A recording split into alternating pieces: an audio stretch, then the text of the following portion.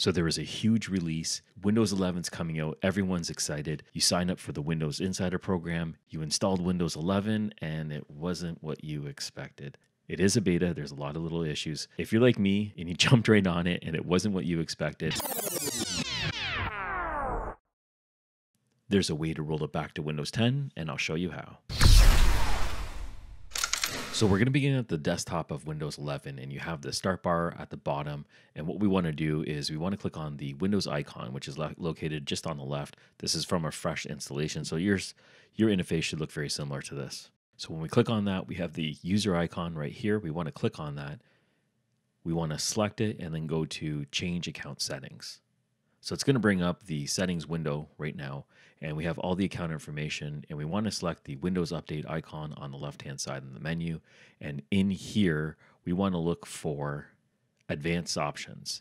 Inside advanced options, we're going to go a little bit further down under additional options and look for recovery.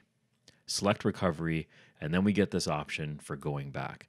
So when you click on this, there's a little button on the right hand side. You can click on it and now we're going to get the options to start recovering back to Windows 10. And here we go. It's asking for a couple little options here. It's a survey. Because it's a survey, I recommend you do it because this is how they improve it. So you can just select the options that you want. I think that the older version was definitely faster. It was slow for me when I was running it, even though I had the minimum requirements. Now it's asking if you want to check for updates. It's still trying to push it. It wants you to still continue, but you can just click on no thanks. And next, what you need to know, eh, they're just giving you a little bit of a warning here. And it's important to note this that once you go back, then you might have to reinstall some applications, and any changes that I've done once you've upgraded to Windows 11 are most likely going to be removed. So you're going to be losing some files and possibly applications. So anything that's really, really important, you want to make sure that you back it up before you click on next. So we click on next. It says don't get locked out. Use your password to sign in. So you had to make sure that you also know your Windows 10 password before you had switched over. It should be the same password. Once you're done with that, you can click on next and then you're ready to go ahead and go back to Windows 10. So basically, you just click on this button. It's now going to shut down the computer completely. It's going to restart it and then it's going to make the changes. This process for me took about two to three minutes. Uh, it really depends on the spec of your system. Once it's completed, you'll go back to Windows 10 sign in screen.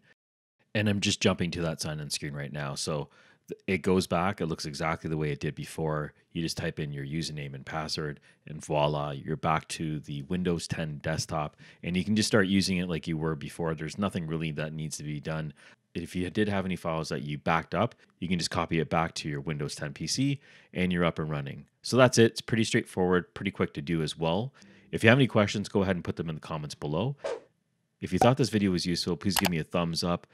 And if you're looking for other tips and tricks related to Windows, virtual machines, or tech in general, please subscribe to the channel. Thank you for watching, and I'll catch you on the next one.